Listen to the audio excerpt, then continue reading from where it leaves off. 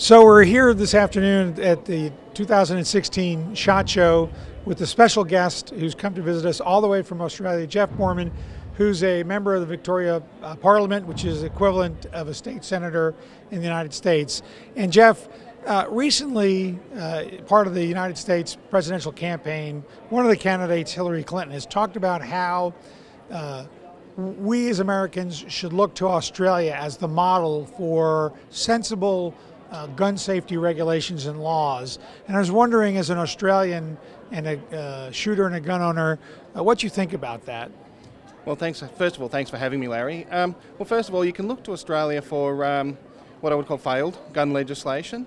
Uh, if we're modelled as what would be a success story, then um, then I, am really not sure what they mean by success.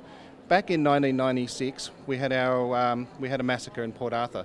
And as a result of that, they took away a vast amount of firearms from legitimate shooters, people that have never done a thing wrong in their life, as you have to have done, or have to have been, to have a shooter's license in Australia. And since then, there's been much crowing about the reduction in firearms deaths since 1996 and uh, reduction in crime, or gun crime specifically. And whilst that is technically right, if you look before 1996, the, the actual deaths was dropping anyway. Uh, statistically, the, the, deviation after 1996 is so tiny, it, it, matters not. And the other problem is, whilst they took a lot of firearms out of, um, let's call it circulation, um, the other types of homicides, such as uh, stabbing and blunt objects and so on, went up to, uh, to make up for the, the reduction. So it, it's really achieved absolutely nothing for a whole lot of money. It was half a billion dollars um, to take all these, to confiscate all these firearms from law-abiding people, and really it's been half a million dollars just washed down the toilet. So the difference between Australia and the United States is that we have a, a Second Amendment, and so what would you say to Americans uh, um, about their Second Amendment rights and looking at your, your experience in Australia? Well, my advice would be to give nothing. Um, what the people that want your guns call sensible gun laws are not sensible gun laws. Sensible gun laws are ones that punish criminals. So by coming after the people that aren't the problem, all they're doing is demonstrating that it's not about um, public safety, it's about their ideology. You have the Second Amendment uh, as part of your uh, constitution, we don't.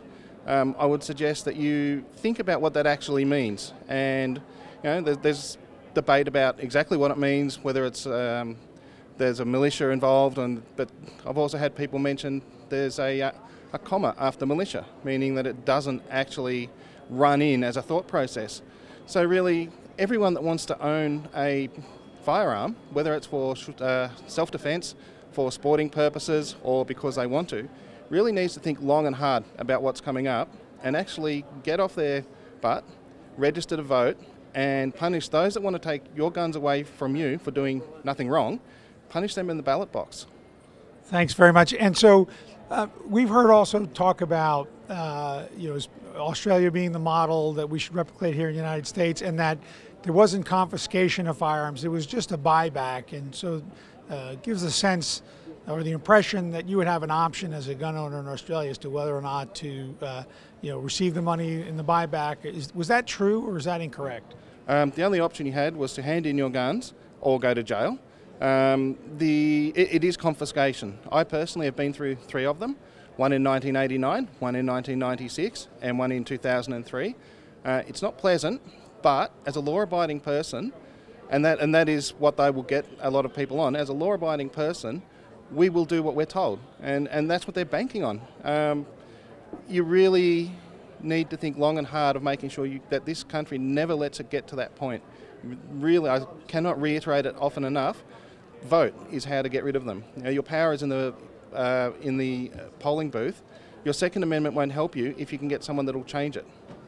Well, we're lucky, and the Supreme Court has decided that the Constitution, uh, the Second Amendment, provides an individual right, and it's not a right of the government or a militia, that it's a right of the individual person to keep and bear arms for lawful purposes. So uh, we are very fortunate, but I do think that you're right. People in the United States uh, can't take it for granted and need to defend that right in the ballot box. We have a program here that uh, NSSF runs called Gun Vote, where we are encouraging um, law-abiding gun owners to get registered, to get educated about where the candidates that are running for office truly stand on firearms issues, on on the Second Amendment, uh, and then to take that into consideration when they go into the ballot box and to gun vote. So uh, we appreciate your being here and taking the time to share your experiences in Australia, which are very unfortunate.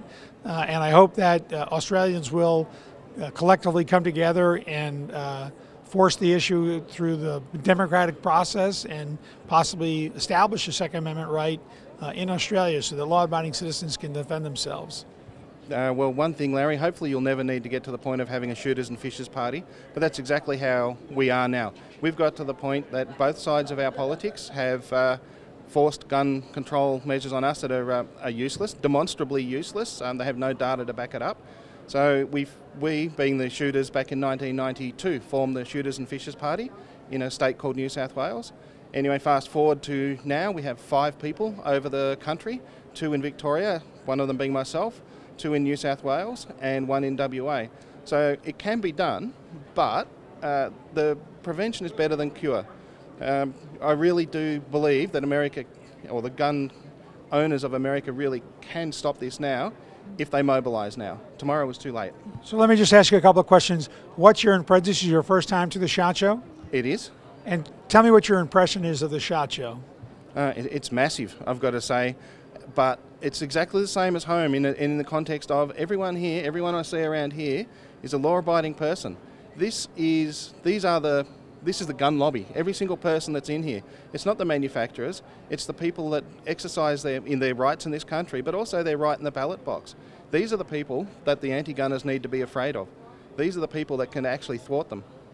Thanks very much for your time, Jeff. We really appreciate it. Enjoy the rest of the show, and everybody, just remember, come election day, gun vote.